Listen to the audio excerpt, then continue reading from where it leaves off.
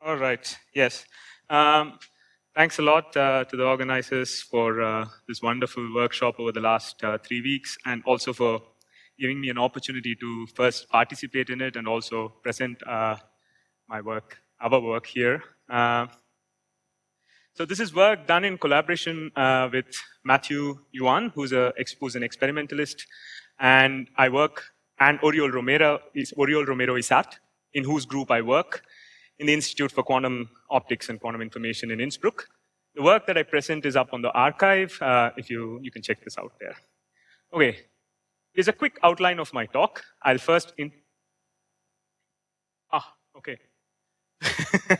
so, uh, the, so I'll begin with an introduction to the talk, uh, to the subject that I'm talking about, um, and I'll spend some time motivating uh, what I'm talking about, as well as uh, the mathematical description I'll use for the system that I'm talking about. That'll be the meat of the talk, actually.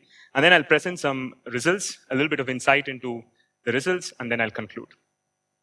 Okay. So, in order to sort of uh, get to the general setting of the kind of systems I'm, talk I'm going to talk about, let's consider this phenomenon. I'm talking about collective effects. So let's consider the phenomenon of superradiance, which was discovered by uh, Dicke in the 1950s. In its simplest avatar, all that you need is a bunch of atoms. Let's say that you pump all of these atoms into their excited state, and you can consider two very different situations. One, the atoms are all super dilute and they're very well separated from each other. And then you look at how they empty from the excited levels, hence their emission, and you see that when this, when the cloud is really dilute, the emission time or the spontaneous emission rate is exactly same as that of a single atom.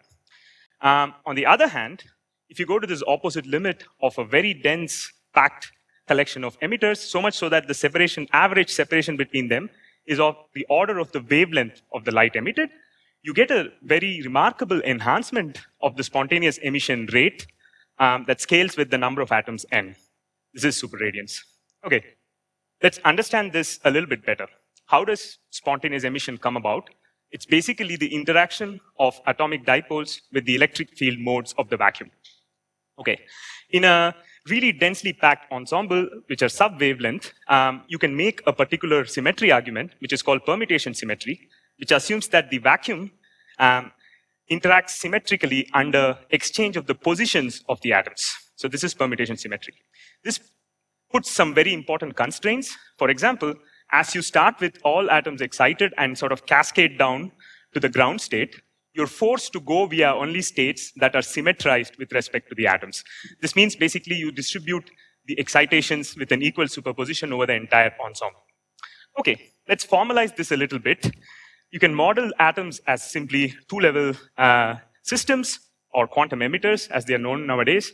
Um, let's call uh, the, the two-level uh, Pauli operators corresponding to each atom sigma sigmas, and the, these are some uh, ladder operators for these atoms. Um, and then let's call by S, the capital S, a collective operator uh, for the spins, which are made by summing over all of these atoms. And you can immediately realize that these symmetrized states that I talked about, which are also known as Dicke states, are nothing but eigenstates of this collective angular momentum, S square and Sz, with a angular momentum J exactly equal to n over 2 where n is the number of atoms, which means basically the ensemble behaves like a giant dipole.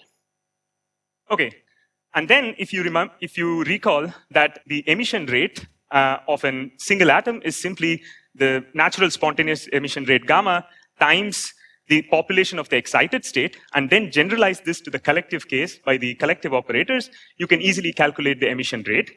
And now you, when you evaluate the emission rate at the different Dicke states, you immediately get an enhanced spontaneous emission that can in, in fact scale as n squared times gamma.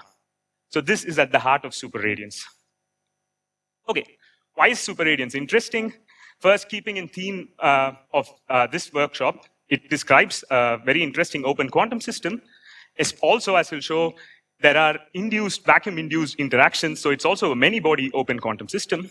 Um, since you sort of start with a completely uncorrelated set of atoms, all of them in excited state, and end up with coherent light when it emits super radiantly, there are some interesting connections to laser physics as well.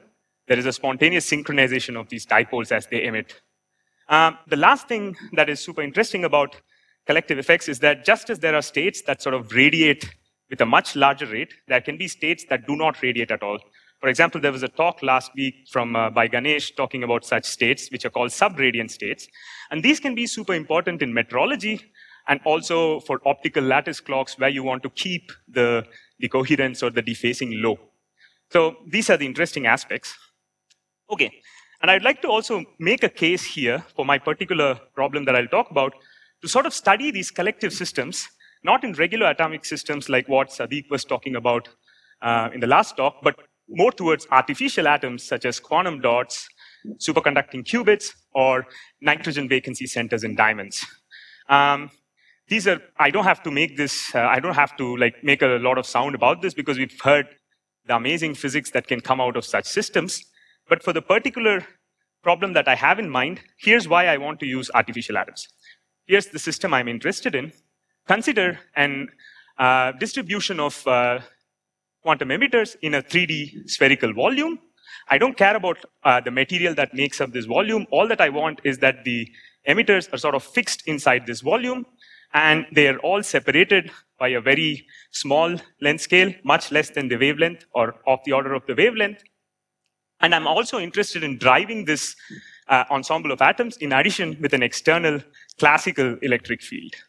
And after doing that, I'm interested in what happens to the dipole force, which is, recall, is defined as basically the gradient of the intensity of the electric field times the polarizability of the ensemble. And I'm interested in how does the dipole force on such an ensemble get, get modified by the collective effects. And another interesting ingredient that usually is not included in such systems, which we include in our work, is a kind of dephasing process. In the language of qubits or two-level systems, a dephasing process is something that damps out purely the off-diagonal elements, and it comes from some noise process. The only twist here is that this noise process is somehow coherent over the entire length scale of the emitters. So in a sense, it acts collectively. I'll formalize how this happens in the next slide. It acts collectively. So this is what collective dephasing is. Okay.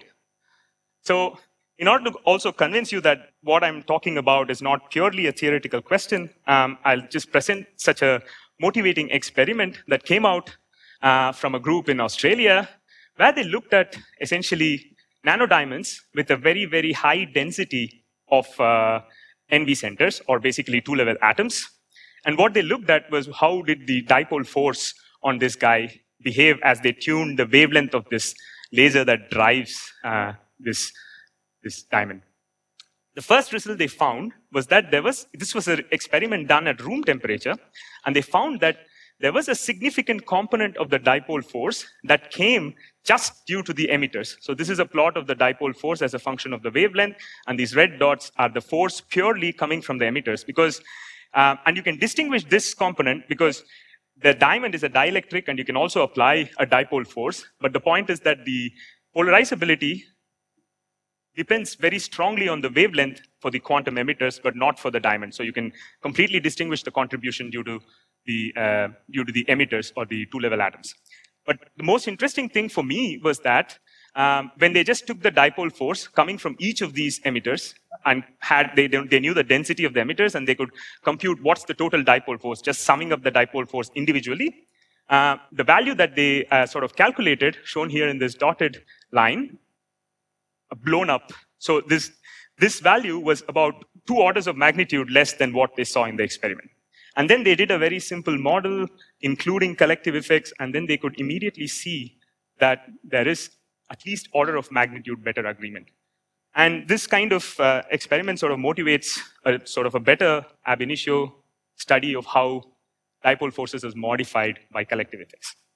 Okay, here's the mathematical description I'll use to model our system. It's basically a Born-Markov master equation. Rho is the density matrix, and these are the Liouvilleans. And the there are two kind, there are three parts to our Liouvillean. Two of them are dissipative processes. One is a Hamiltonian process.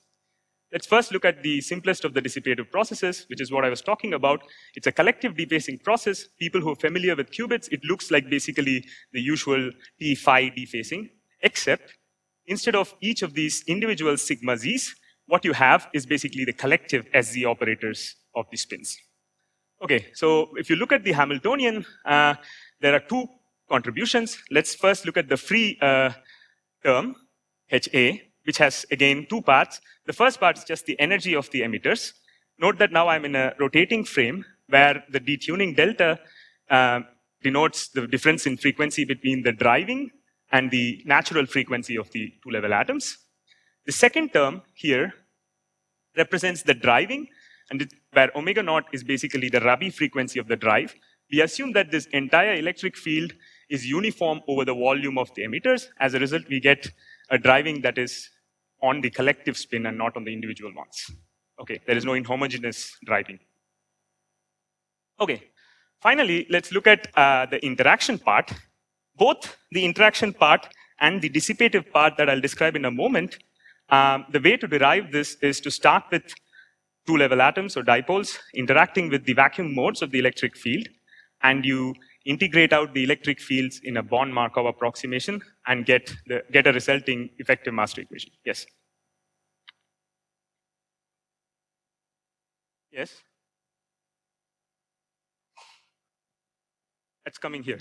So this interaction is of the usual dipole-dipole form. And the strength of this, and it's a flip-flop in the operators, and the strength of this guy depends on the separation between the emitters and it goes like this. For a pair of emitters, as a function of their separation, it goes as this 1 over r cubed form. One thing to note is that such an interaction can break this permutation symmetry that I talked about with my hand-wavy explanation of superradiance in the beginning. Okay, let's now go to the dissipative process, which I call, uh, or which is called as cooperative spontaneous emission. This is how the dissipator looks. When you consider just terms, so m and n denote the uh, different emitters. When you consider terms with m equal to n, what you get is the usual spontaneous emission uh, dissipating operator. The interesting thing is in this case, you also have uh, correlated emission processes for m not equal to n, which just like the dipole-dipole interaction, depend very crucially on the separation between the emitters. And as you can see clearly, uh, once you are in this regime where the emitters are really, as a function, uh, in units of the wavelength, very, very closely packed. The uh, off-diagonal term also saturates exactly to the diagonal contribution, and you can write the total dissipator in terms of just the collective operators. So this is just collective uh, emission, and this is what lies at the heart of superradiance, as I described in the beginning. No, it's in free space, completely in free space. Okay, finally, to define the quantity that I'm interested in, which is the dipole force, this is just the gradient of the uh, driving term. And apart from the uh, apart from the dependence on the driving fields profile, it's simply given by the average of the total polarization Sx, the collective polarization. And our interest is to basic, our, our goal is to calculate the steady state of the master equation that I uh, showed you before and evaluate this Sx there, and we have an access to the dipole force immediately.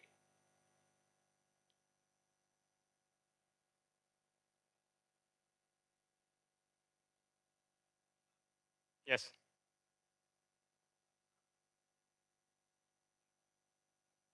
Mm -hmm. It's Yes, so this is what it is. So if, the, if all of the emitters lie on top of each other, basically this off-diagonal part sort of saturates, and you can write this dissipator as a collective dissipator. This is the Dicke model. Ah, that dissipator is purely, you start with uh, interaction of all the dipoles with vacuum, do Born, Born Markov approximation, and this is just the I mean, it's the usual Wigner-Weisskopf kind of treatment, but keeping in mind that the vacuum field, you should evaluate it at different positions of the atom. Exactly. They are all coupled to the same exact vacuum. That's the point. Yes. I mean, in some limit, of course, you can always argue. So, there is, so, okay, so a memoryless bath. So I have to have a bath that has flat density of states.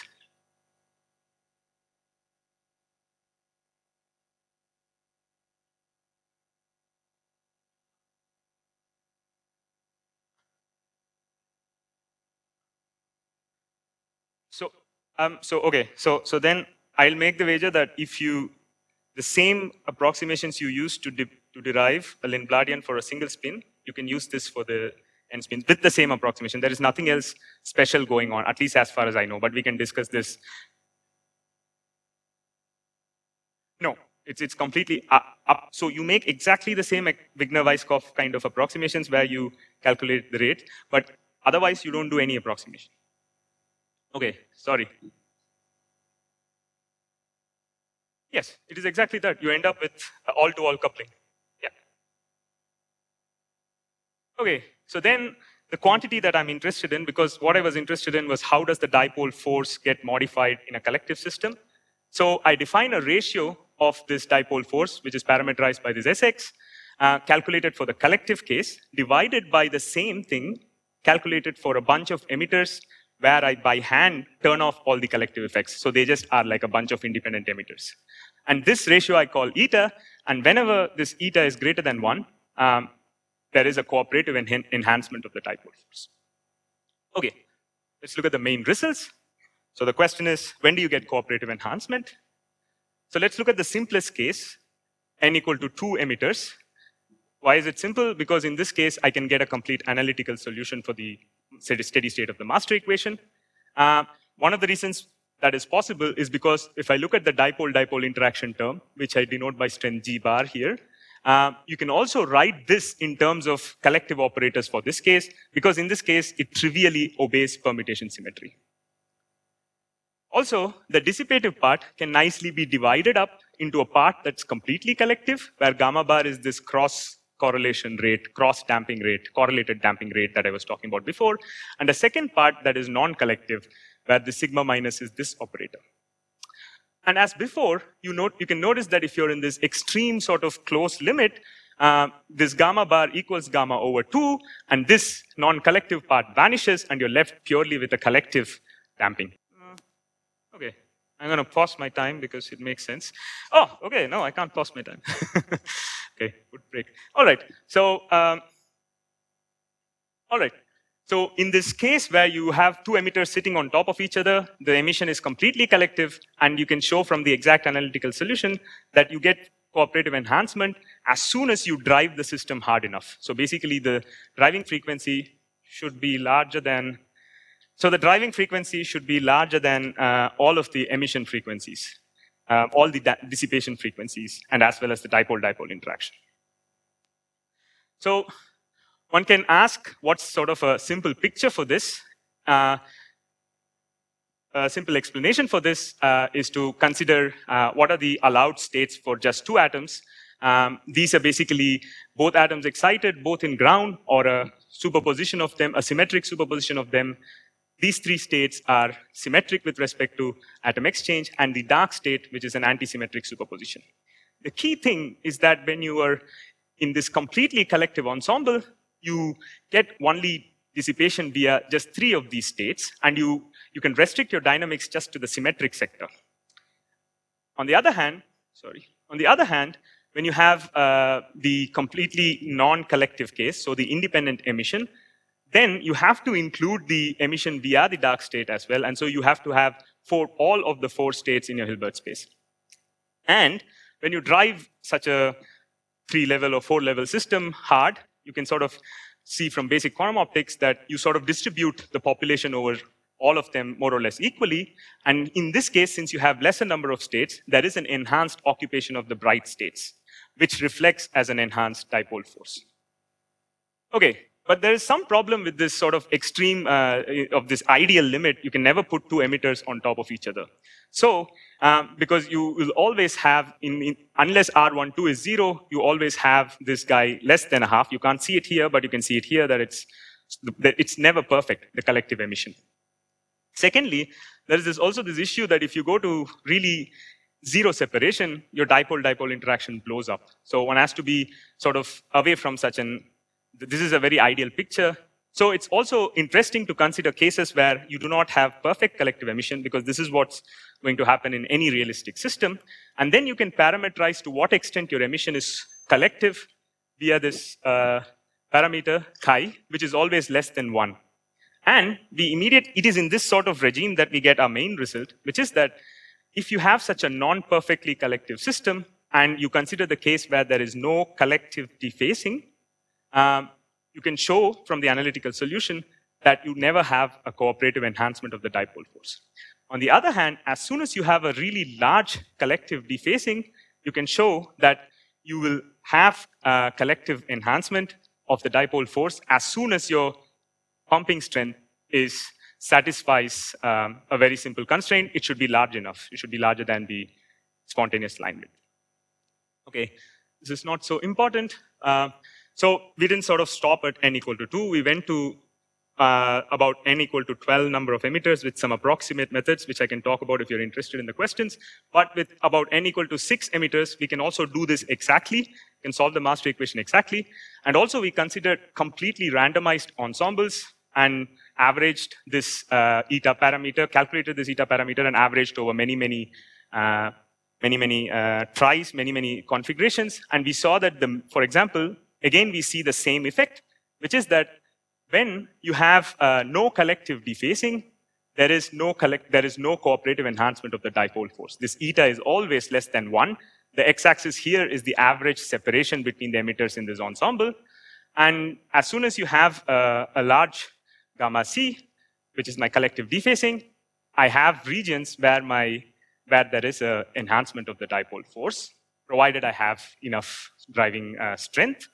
And if, again, I can explain details if I have questions. So the answer is basically, when do you have a cooperative enhancement of the dipole force? Basically, in, in the regimes where you drive the system strongly and have a large enough collective dephasing. So these are my conclusions. Uh, and maybe there's just one last thing I would say. The conclusions, most, most of them is not so important. But one thing that's uh, I would like to say is that in, in, in a diamond system, in a, in a nano diamond system, such a collective dephasing process that I described can occur very naturally because it arises from electron-phonon coupling. And usually, for a very small size diamond, the phonon wavelengths can be large. So it can sort of, the phonon can encompass many of the emitters, and hence the dephasing noise coming from this process can be collective. And we're also looking to engineer this in a superconducting qubit with some experimenters in Innsbruck and so on. Okay, thanks for your attention. We have time for two quick questions because we are running late. Uh-huh. Yes, but we can put in inhomogeneity, and we see that up to, let's say, um, two or three orders of magnitude less, so 10 to the minus 3 times the collective dephasing, this enhancement survives. So we can put inhomogeneous dephasing as well. It's not like it, it, doesn't get, it doesn't disappear as soon as you turn on inhomogeneity because it's very generic. That's the understanding.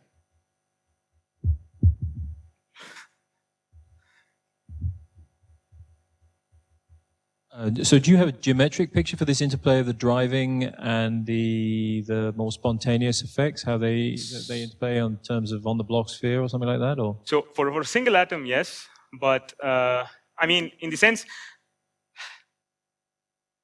yeah, I don't have a very easy picture, but the point is, it's clear that it's we are far away from low saturation. This is one thing I can say, uh, where I'm sort of driving the system super hard. I, I it's, it's definitely not a bunch of harmonic oscillators that's that's the main difficulty. But I don't know. I don't have a very good picture. Okay. Let's thank the speaker again.